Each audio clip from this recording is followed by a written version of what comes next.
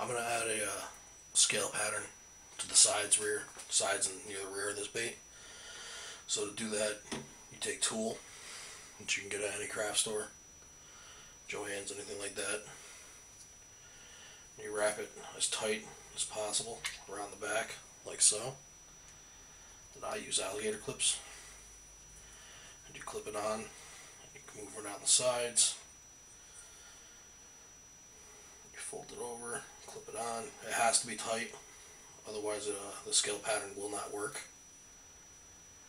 So you need to keep it as tight as possible. And you just do this throughout the entire bait.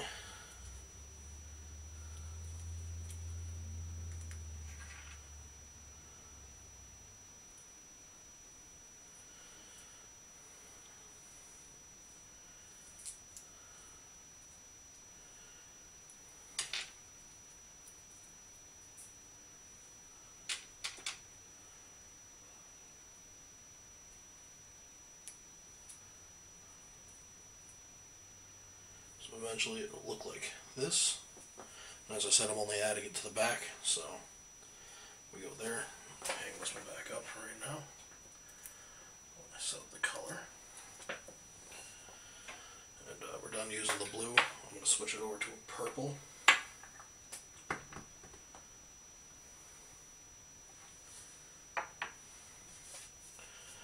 So take the purple, shake it up.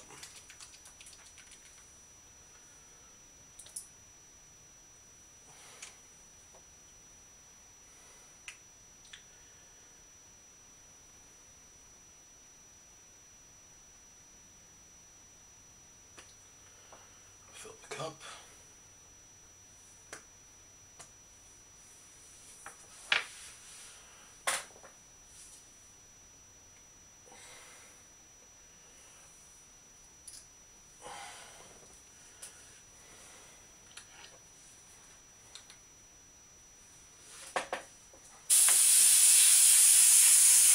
sure the color that comes out is the purple.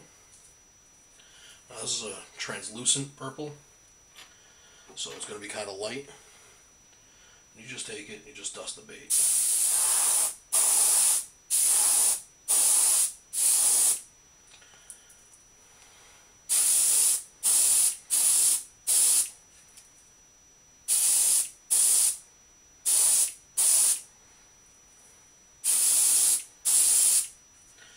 You work your way up the sides.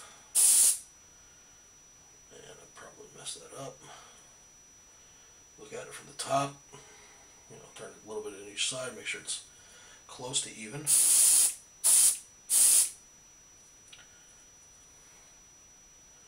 You can always add more blue later if it's not. Which it's not. And then that is done. That's all you do for the purple scales. I'm going to add some to the top. Like so. Now we try it again.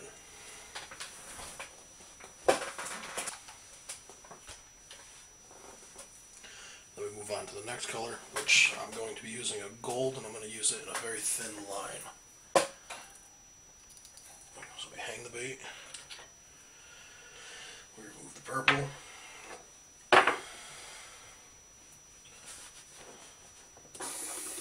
We backfeed it.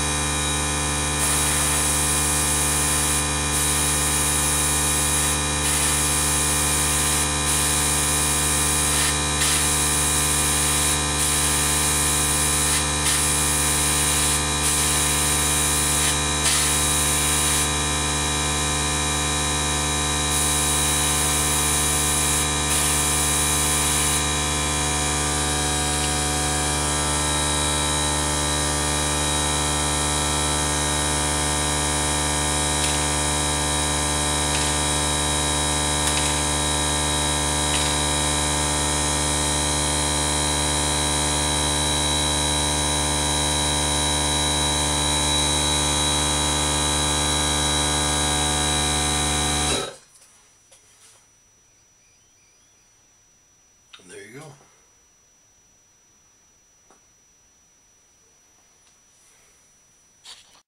Then what I just did is I just finished up the top edge. I didn't add a scale pattern to the front half of it.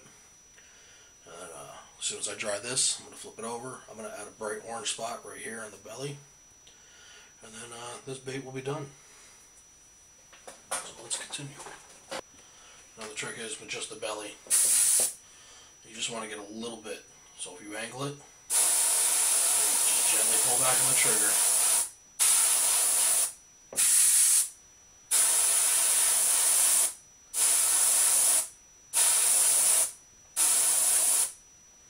You will eventually